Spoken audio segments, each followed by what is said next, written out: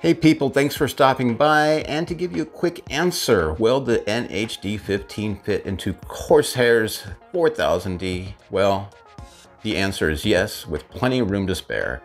But as always, there seems to be one caveat to consider, the RAM height. How tall is your RAM? But first, just a quick overview of the NHD15. Noctua states that the heatsink is 160 millimeters tall all by itself. And when you add the fans, Noctua says it bumps that total height to 165 millimeters. Now Corsair's 4000D airflow case states it can support a cooler height of up to 170 millimeters. And with some very simple math, you're gonna think to yourself, yeah, it's gonna fit, right? But what Noctua doesn't know is how tall your RAM is. And there's the dilemma when it comes to a first time PC builder or you have a PC you've already built and you're pondering, should I spend $90 and pull the trigger on this cooler? Basically $100 when you include tax. Am I right? Is this your dilemma? Hey, let me know in the comments.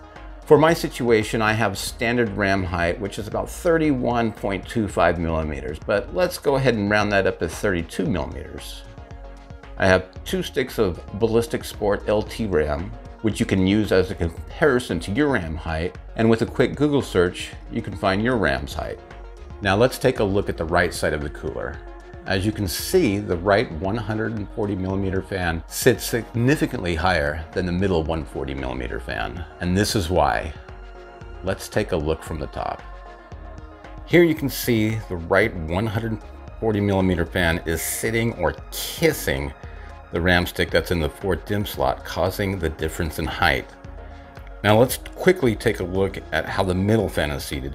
You can see right there that the middle fan is kissing or resting on the cooler's heatsink screws that are keeping the heatsink attached to the CPU slash motherboard.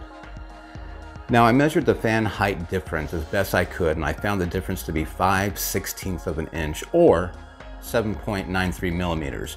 But just to give us a tiny bit of room, let's just say 8 millimeters. Now to the best of my measuring abilities, from the top of the fan that's sitting on the RAM to the glass panel, the distance is a quarter of an inch or 6.35 millimeters. But let's just round that down to six millimeters. So if we're doing our math right, with the standard RAM being approximately 32 millimeters tall, and with six millimeters of space before we touch or kiss the glass side panel, my brain tells me the maximum height of your RAM could be no more than 38 millimeters. But hell, no worries, if your RAM is taller than 38 millimeters, and if you're an enthusiast like me, you can always get your hands on a 120 millimeter Noctua fan and switch it out with the 140 like I did in my previous case, the NZ XT H510. Now the H510 is smaller, having a maximum cooler height of only 165 millimeters. But as you can see in my old case, that 120 millimeter fan fits nicely onto the heatsink. And I'm using the same fan brackets that I used to attach the 140. And as you can also see, I moved that 140 to the left side of the heatsink as a pull fan. Now the NHD15 only comes with two sets of fan brackets, but if you screenshot your proof of purchase and email it to Noctua like I did, Noctua will send you free of charge an extra set of fan brackets. So if you want to pump up your cooler and have a three fan heatsink like this, then go for it. And FYI, it only took me about 10 days to receive that third pair of fan brackets.